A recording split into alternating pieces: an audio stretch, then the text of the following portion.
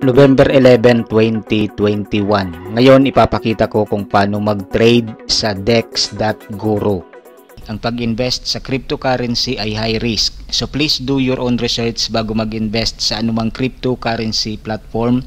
Don't invest money you can't afford to lose.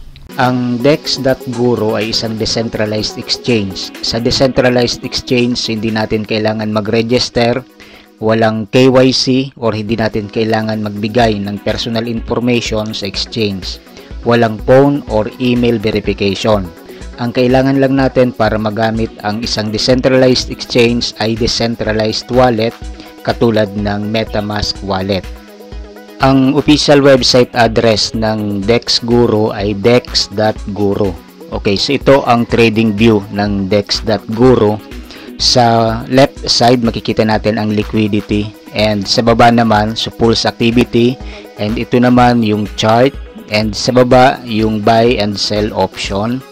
Okay, so sa right side ito yung trading volume and trading history naman sa baba.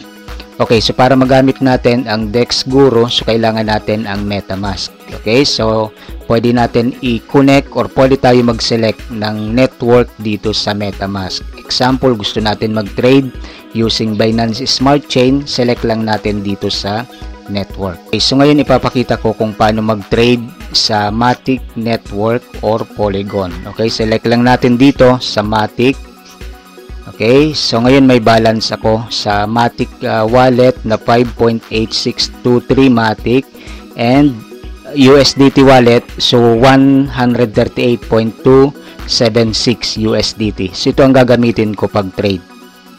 Okay, sa so dito sa taas sa search market Okay, so pwede tayo mag-select by uh, top volume, trending, gainers, losers and then pwede rin tayo mag-set up ng favorites. Okay, so ngayon iti-trade ko so Matic. Okay, sa buy option.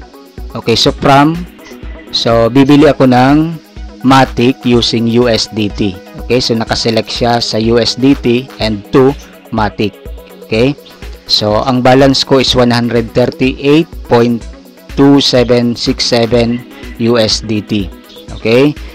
So, kung gusto ko mag-buy ng Matic using USDT, so type natin dito yung amount or pwede natin i-select dito sa percent.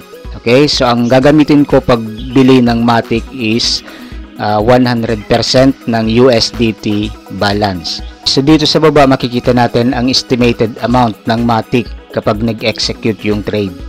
Kapag okay na ang details dito sa buy option, okay, select lang natin dito sa buy button.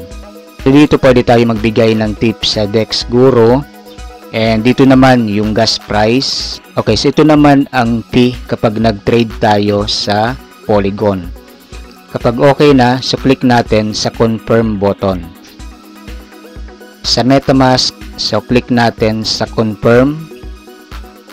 So confirm transaction, ngayon check natin sa MetaMask wallet. Okay, so ngayon na-complete na yung trade natin from USDT to Matic.